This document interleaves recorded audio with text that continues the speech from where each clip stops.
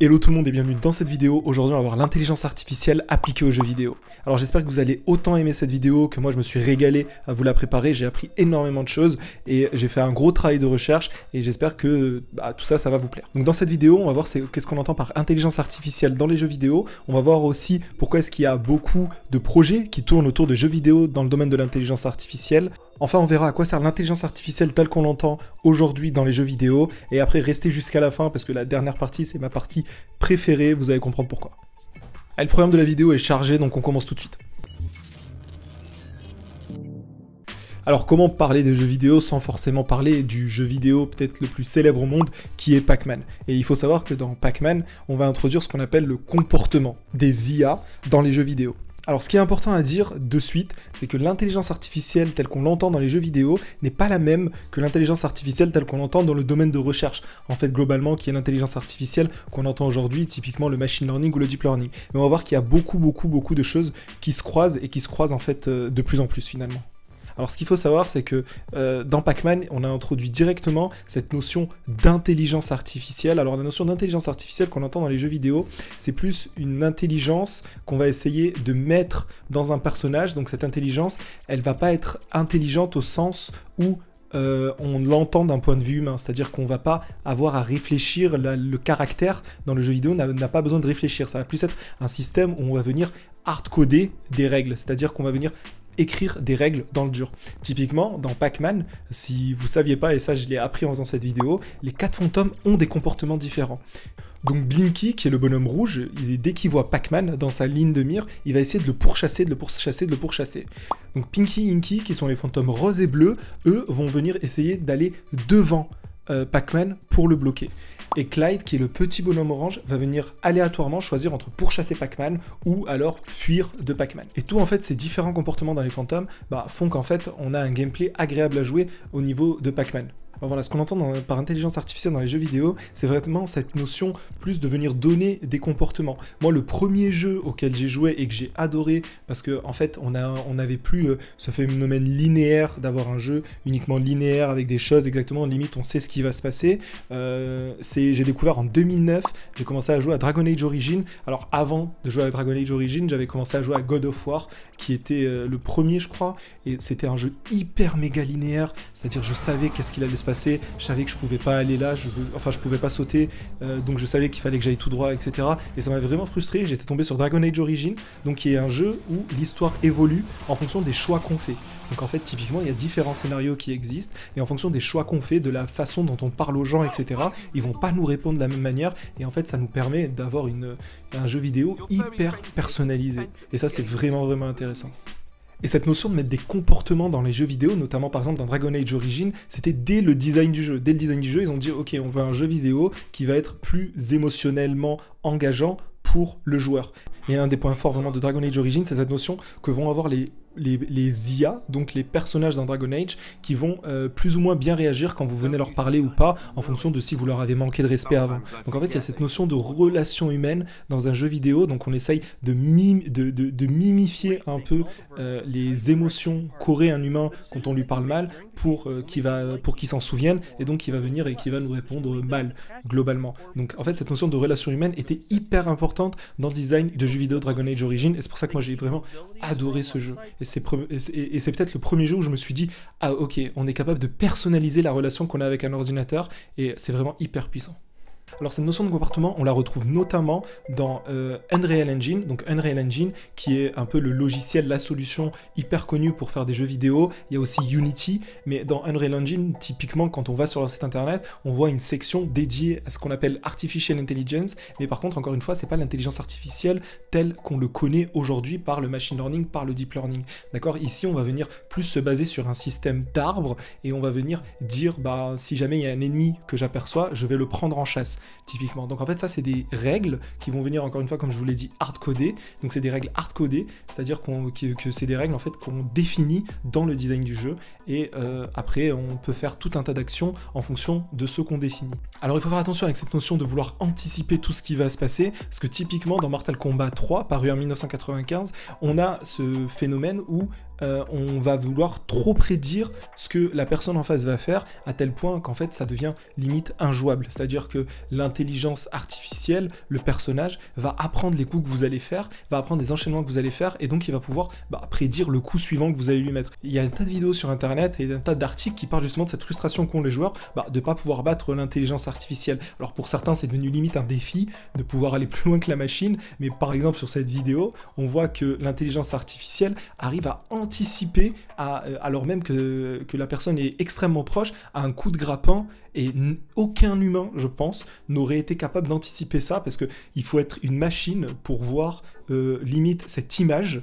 Et enfin là, ça, devient vraiment totalement Et il faut faire extrêmement attention à cette notion d'injouabilité quand on veut développer des intelligences artificielles surpuissantes, parce que le but du jeu, c'est pas de développer des intelligences artificielles qui vont euh, être impossibles à battre. Le but du jeu, c'est de permettre aux joueurs d'avoir un moment, de passer un moment agréable en fait quand on joue à un jeu vidéo. Et pour passer un moment agréable, forcément, il faut des petits shots de dopamine et il faut gagner à des moments. Mais bien sûr, il faut pas que ce soit trop facile à gagner. Il faut des petits moments de frustration pour justement euh, permettre à la personne de se dépasser et d'avoir encore plus ce moment de, joie, en fait, quand on arrive à terminer une épreuve. Donc c'est un jeu d'équilibriste euh, très très très difficile à trouver, mais il faut faire attention parce que parfois ça dégoûte totalement des joueurs. Par exemple, récemment, il y a le champion du monde de Go qui a déclaré prendre sa retraite parce qu'en fait, l'IA de Google, rappelez-vous, AlphaGo, euh, qui avait battu le champion du monde de Go, et eh ben, il a déclaré qu'elle était impossible à battre vu que l'IA a pris totalement la domination sur son jeu, lui vivait limite quasiment avec ce jeu, et eh ben en fait il était dégoûté et il a pris sa retraite. Et c'est un peu triste d'ailleurs de voir qu'un homme en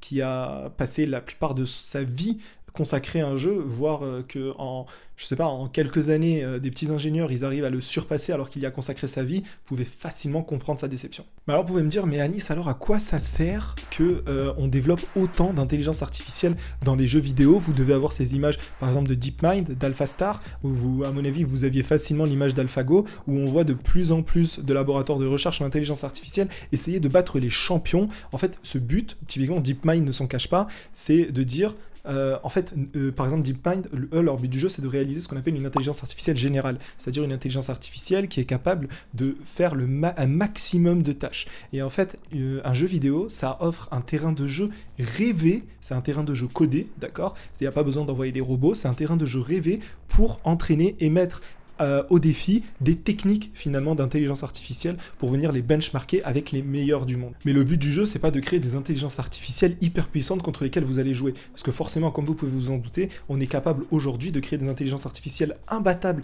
à des jeux vidéo, tout simplement parce que vous n'allez pas avoir les mêmes réflexes que la machine quand elle joue en fait dans son propre environnement qui est dans son propre environnement de machine. C'est pour ça que typiquement AlphaStar ils ont dû mettre des latences entre différentes actions euh, de l'intelligence artificielle pour imiter en fait le clic d'un humain, pour imiter la vue d'un humain quand il prend l'information, que ça vient au cerveau, etc. C'est pas instantané comme ça peut l'être dans une machine. Mais à quoi ça sert aujourd'hui alors l'intelligence artificielle dans les jeux vidéo si ça sert pas uniquement à créer des personnages hyper intelligents, si ça sert pas forcément à créer des super IA euh, euh, qu'on pourrait pas battre? En fait, l'intelligence artificielle aujourd'hui dans les jeux vidéo est utilisée un peu comme dans n'importe quelle industrie, c'est pour résoudre des problèmes finalement.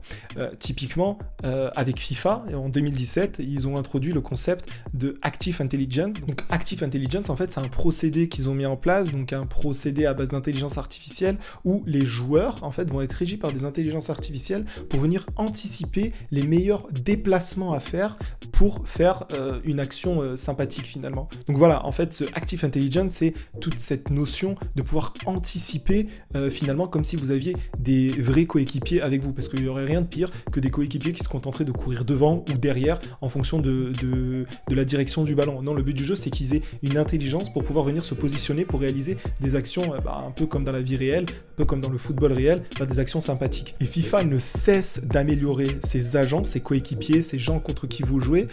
dans FIFA 2020, ils ont introduit le concept de football intelligence. Donc le football intelligence, typiquement, euh, c'est des comportements différents en fonction de, des joueurs, en fonction de s'ils ont la balle, de s'ils vont recevoir la balle, de euh, s'ils n'ont pas du tout la balle, s'ils sont loin de la balle, etc. Et ils ont introduit aussi une meilleure dynamique du ballon, comment est-ce qu'il réagit par rapport à l'angle dans lequel il est tiré, etc. etc. Rappelez-vous, euh, moi j'avais ces images de PES avant quand je jouais à PES, où on pouvait marquer euh, depuis euh, le centre du terrain, à moins que tous les joueurs étaient Roberto Carlos ou Gérard, c'était pas possible de le faire dans la vraie vie. Et dans la dernière partie de la vidéo, en fait, on va voir comment l'intelligence artificielle finalement permet de se rapprocher au maximum de la réalité. Alors l'IA, au-delà de pouvoir interagir avec nous dans un jeu, l'IA sert aussi beaucoup d'entreprises de jeux vidéo à tester finalement leurs jeux vidéo. Une des entreprises qui fait beaucoup ça, c'est l'entreprise King, donc il y a notamment Candy Crush, et euh, ils utilisent de l'intelligence artificielle pour justement venir tester leur niveau. Vous imaginez qu'ils peuvent pas euh, mettre euh, des humains en train de tester les 2000 niveaux, ils doivent faire des simulations de tests de niveau, mais encore une fois, ils peuvent pas juste faire une IA qui va venir tester les niveaux de la manière la plus rapide et voir si c'est plus ou moins rapide. Non, là on utilise des algorithmes qu'on appelle notamment l'algorithme de Monte Carlo. Et l'algorithme de Monte Carlo, il est très très utilisé dans le monde du jeu vidéo, dans le monde de l'aide à la décision de manière générale. Pourquoi? Bah Parce qu'en fait, il permet d'avoir des euh, résultats proches, des résultats de réussite proches de ceux d'un humain. Et ça, c'est extrêmement intéressant. Alors, on a vu comment les IA opéraient dans les jeux vidéo, on a vu qu'ils servaient à beaucoup de choses, euh, hormis euh, uniquement euh, construire des personnages dans les jeux vidéo. Call of Duty, par exemple, utilise de l'intelligence artificielle pour augmenter le taux d'engagement de ses joueurs sur le jeu vidéo. Le but du jeu, euh, c'est de garder, entre guillemets, les joueurs le maximum possible, exactement comme une, entreprise de vêtements, une entreprise, un magasin qui va venir essayer de vous rappeler, de vous engager au maximum pour que vous veniez, en fait, finalement, dépenser toujours plus. Et dans Call of Duty, le but du jeu, c'est que vous commencez à jouer de plus en plus, d'accord? Donc, donc, comme dans n'importe quelle en fait euh, application, service internet, leur but du jeu c'est de vous garder. Et, en fait ils appliquent aussi des méthodes, un peu comme toutes les entreprises, des méthodes d'intelligence artificielle pour venir prédire, typiquement ici, quel est le meilleur message à vous envoyer pour que vous continuez à jouer au jeu. Exactement comme euh, encore une fois un magasin qui va vous envoyer un SMS pour vous dire quel est le meilleur SMS ou le meilleur mail à vous envoyer pour que vous reveniez en magasin dépenser de l'argent. Alors mais Call of Duty avec l'intelligence artificielle c'est encore plus compliqué et encore plus obscur. Alors Call of Duty, notamment Warzone, qui est le dernier Battle Royale sorti de Call of Duty a vu énormément, énormément de personnes qui trichent. Et il y a même ce site internet qui se cache même plus, il vous propose pour 19 euros ou 39 euros avec des plans différents de pouvoir télécharger un petit logiciel sur votre ordinateur pour pouvoir typiquement par exemple voir les ennemis, voir la position des ennemis alors qu'ils sont cachés derrière un mur. Et ça, ça a rendu fou la communauté des joueurs sur Warzone qui demande à Activision bah, de s'activer pour euh, enlever euh, tous ces tricheurs qui sont euh, sur des ordinateurs Typiquement ici, on voit un joueur euh, sur PlayStation recevoir un tir alors même que la personne en physiquement, elle peut pas euh, voir l'adversaire. Et ça, c'est uniquement parce qu'il a en fait ce logiciel qui permet de voir où est la personne. Donc il a juste à tirer et il sait qu'il n'y a pas de mur devant et euh, il va la voir. Et ça, ça crée énormément de frustration. Il y a même des solutions pour tricher qui vont encore plus loin, qui analysent l'image, qui, qui, sont en fait vos yeux dans l'application et qui permettent de voir, de détecter des ennemis qui sont hyper loin que vous auriez pas forcément vu à l'œil nu, et eh ben, euh, avec des techniques de traitement d'image. Alors l'intelligence artificielle va venir combattre l'intelligence artificielle. Ce qui est hyper développé, c'est en fonction de vos comportements de jeu, en fonction de la vitesse à laquelle vous tirez, en fonction de où vous êtes et de votre ratio de, score, en fait, finalement, on va venir vous catégoriser comme euh, si vous êtes un tricheur ou si vous n'êtes pas un tricheur. Donc là, en fait, c'est une détection de tricheur. Alors pour être honnête, ça marche pas de fou. C'est pour ça qu'Activision va permettre aux gens sur Warzone de reporter avec des killcams si jamais ils considèrent que c'est un tricheur. Et en fait, ici, il va y avoir des humains qui vont dire effectivement, il y a, triche, et donc euh, carton rouge, et, tu es expulsé. Donc on voit que même l'intelligence artificielle n'arrive pas encore à combattre globalement, finalement, toutes euh, bah, ces intelligences artificielles qui sont là pour tricher. Alors on va passer à ma partie préférée parce que c'est extrêmement beau. Aujourd'hui les jeux vidéo utilisent l'intelligence artificielle pour simuler le réel. Vous savez, il n'y a rien de pire que de se souvenir de ces jeux vidéo. Un peu, moi je jouais à Turok par exemple, où il y avait des bonhommes qui se déplaçaient de manière un peu rectiligne, les visages étaient uniquement carrés, etc. Bon, j'ai passé des joueurs à jouer à ça, j'ai kiffé sur Nintendo 64, mais euh, avec le recul, quand on regarde aujourd'hui, c'est quand même vachement dégueulasse. Et aujourd'hui les jeux vidéo sont de plus en plus beaux, parce qu'en fait, la puissance de calcul, typiquement dans les ordinateurs pour jouer, bon, c'est pas uniquement un ordinateur pour jouer, c'est aussi un ordinateur pour travailler, c'est important, et eh ben euh, on peut voir des graphismes qui sont incroyables qui ressemblent typiquement par exemple à euh, des, des, vidéos comme si on les avait vues dans la vie réelle. Je pense notamment à ce moteur de Unreal Engine 5 qui a été dévoilé il y a quelques jours où on voit des images absolument bluffantes, où on voit des poussières euh, se déplacer exactement comme si c'était la, la, vraie vie finalement, où on voit ces lumières euh, très belles qui viennent prendre chaque détail du mur, etc. etc. Enfin c'est incroyable, en tout cas qui joue beaucoup, je trouve ça vraiment absolument magnifique et j'ai hâte d'essayer ça. Alors l'intelligence artificielle va venir essayer de plus en plus de simuler le réel, comme je l'ai dit.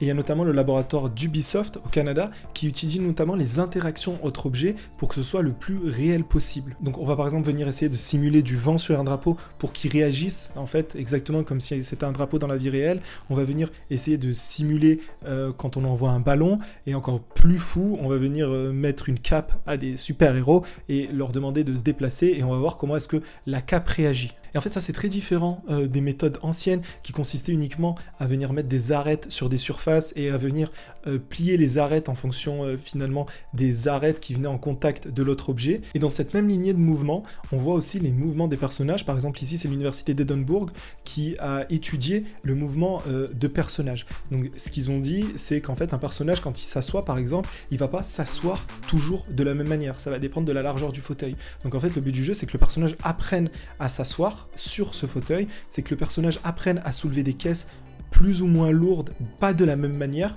Et ça, en fait, c'est ça qui est fou et qui vient encore plus simuler la réalité. C'est qu'en fait, au-delà de juste avoir un principe de comportement, comme c'était le cas au début, action, comportement, qui va être tout, typiquement tout le temps pareil, ici, en fait, l'action euh, va et le comportement vont être différents en fonction de si l'objet est lourd, il va mettre plus de temps à le soulever, il va pas incliner les, pieds de la même manière, etc. Et ça, ça fait gagner énormément d'argent à plein de studios qui n'ont plus besoin en fait d'engager des acteurs dans des fonds verts, de leur mettre plein de capteurs et de venir réaliser et après euh, venir mettre une surcouche euh, pour venir réaliser les mimiques des personnes dans les jeux vidéo. Donc en fait, ces techniques, on peut les appliquer aussi pour venir déplacer des animaux. Ici, par exemple, on voit le déplacement d'un loup, qui doit se faire aussi, encore une fois, de la manière la plus naturelle possible. Et ici, on voit même la fourrure qui vient se déplacer avec, en fait, euh, les déplacements du loup. Bon, et ce qui est encore plus fou, si on dit humains, animaux, on va limite prendre toute la Terre, en fait, tout ce qui est possible de simuler sur Terre, et on peut même venir simuler, par exemple, des tsunamis euh, dans une ville pour voir comment est-ce que le l'eau va venir euh, s'écouler finalement euh, de la manière la plus naturelle possible dans une ville. Donc là, on peut venir simuler tout un tas de comportements, comme vous pouvez facilement l'imaginer, qui vont encore une fois nous rapprocher du réel et de cette sensation de réel qu'on cherche tous dans les jeux vidéo. Et on peut même maintenant venir simuler le comportement des muscles d'un humain et venir simuler le déplacement euh, d'un humain en plus de uniquement euh, simuler euh, si le bras va bien se déplacer en fonction du poids qu'il va avoir. ça va venir simuler vraiment les, fibres musculaires. Ça va venir simuler muscle par muscle le mouvement d'un objet en fonction de si l'objet est lourd, de si l'objet est pas lourd. Et en fait, au fur et à mesure que l'argent va venir s'entraîner avec du reinforcement learning, il va réussir à faire le mouvement ben, parfait. Bon voilà, vous voyez que en résumé, l'intelligence dans les jeux vidéo euh, telle qu'on l'entend, c'est pas vraiment de l'intelligence artificielle telle qu'on l'entend en faisant du machine learning. On utilise de plus en plus aujourd'hui des techniques de machine learning, de deep learning, parce qu'on a de plus en plus de, ressources de calcul finalement pour simuler des choses intéressantes. Donc on sait que l'intelligence artificielle c'est une discipline qui est en train de pénétrer absolument tous les domaines. On l'a vu euh, aujourd'hui avec les jeux vidéo. On va venir pas uniquement simuler des intelligences artificielles dans des jeux vidéo, mais euh, l'intelligence artificielle va vraiment venir encore une fois ici faciliter le travail de beaucoup, beaucoup de développeurs, de beaucoup de testeurs d'applications. Et le but du jeu, c'est de réussir à simuler au maximum et de mieux en mieux le réel, finalement, pour prendre bah, de toujours euh, de plus en plus de plaisir dans les jeux vidéo. Allez, j'espère que cette vidéo vous a plu. N'hésitez pas encore une fois, s'il vous plaît, à commenter, partager, liker la vidéo. Ça fait toujours plaisir. Et je vous dis à la prochaine. Toujours pareil, dans une prochaine vidéo. Prenez soin de vous. Salut